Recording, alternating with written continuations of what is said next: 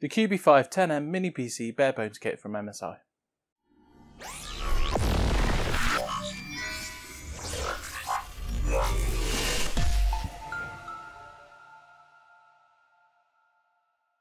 The Cubi 5 comes in a brown box with the usual assortment of paperwork, a power cable with a cloverleaf or C5 connector, and a Delta 65 watt power brick. What differs from the usual is the inclusion of a monitor VESA mount so you can directly attach the Cubi 5 10M to the back of your monitor of choice, a bag of mounting screws, and finally, an external power switch, which is essentially a two pin power button that you typically find inside a PC to power on a computer. The bottom of it has double sided tape so you can stick it to any surface you like. Bravo MSI. A quick look around the Cubi 5. Starting at the front, we see a power button, blue hard drive indicator LED, a single USB 3.2 Gen 1 Type C and Type A connector, and on the left we see a separate 3.5mm headphone and microphone jack. Nice to see them separated here and not a combo port I was expecting. Moving to the right side, I direct you to this hidden port. Removing the blanking plate reveals the 2 pin plug for that external power switch. It connects here.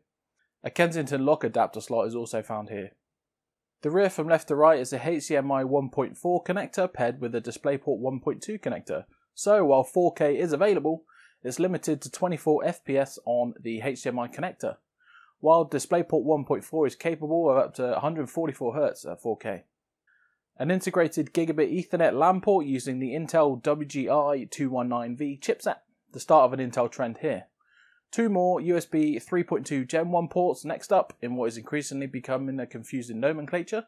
USB 3.2 Gen 1 has a 5 gigabit second transfer rate. Two USB 2 ports are the next offering, a good place to connect your keyboard and mice.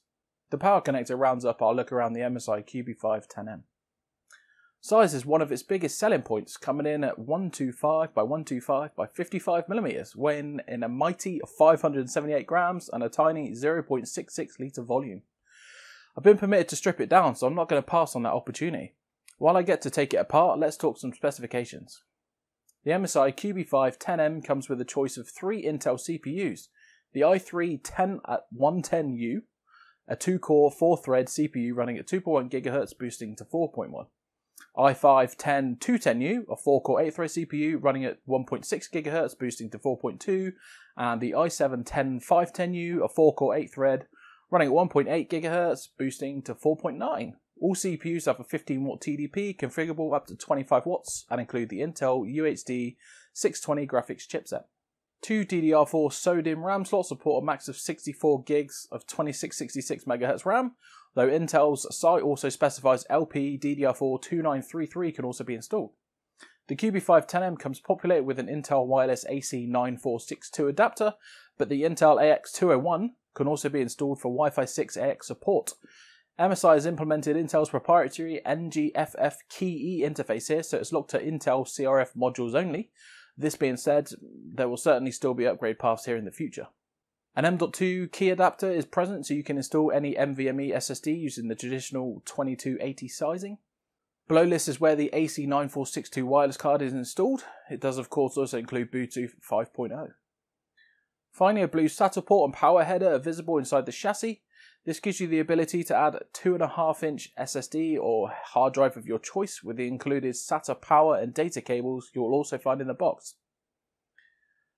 This drive can then be mounted to the lid, or in this case, the bottom of the Cubi 5 10M mini PC, giving you the options of either a single M.2 or 2.5 inch SSD, or both together for large storage options.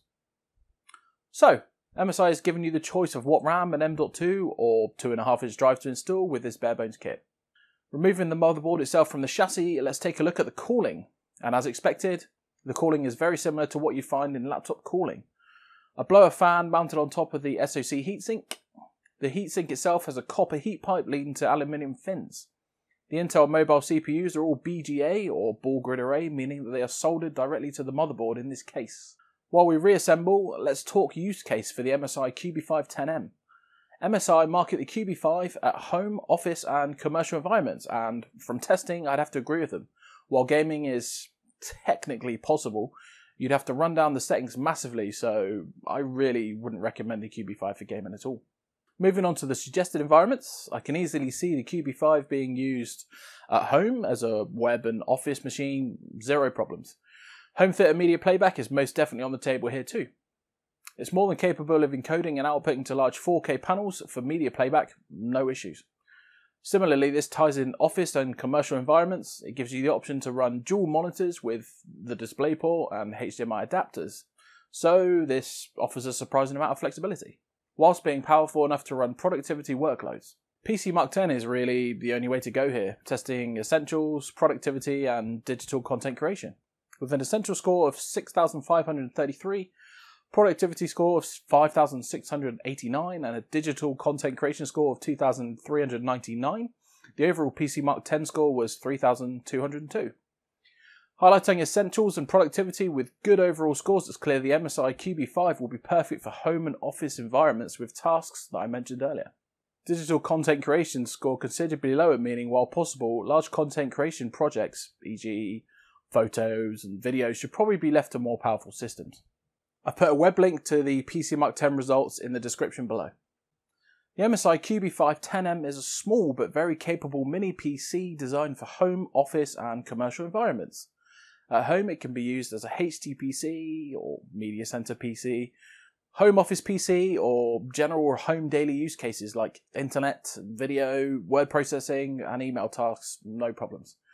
It would also be right at home in office and commercial environments performing similar tasks, and thanks again to its dual display connectors, dual monitor use is also available out of the box. I should note it's developed in conjunction with MSI's Pro MP221 monitor, a monitor developed for an office environment. It's quite an aesthetic piece too, with a black plastic shell overall, a metal base, and uh, metal walls for reinforcement. And other than the MSI logo and the I/O, that's pretty much it. The size also adds to its appeal with a small 0.66 litre volume that's pretty much the size of your hand. Going back to I/O, three Type A USB 2 Gen 1 ports, one Type C USB 2 3.1 Gen 1 port, two USB 2s, Gigabit Ethernet, HDMI, and DisplayPort give you a plethora of connection options for its form factor. Internally, Wi-Fi AC or AX, Bluetooth 5.0, M.2, SATA ports, two RAM slots. Again, give you lots of options to populate for the use case. CPU temperatures under the heaviest PC Mark 10 workload peaked at 70C. Even in a pretty warm room, 26 degrees at the time of testing with a small heatsink proved itself very well here. Also, summer's getting hotter or what? Acoustics aren't much of a factor here too. The low powered SoCs offer a great balance between power and efficiency and can be cooled easily enough.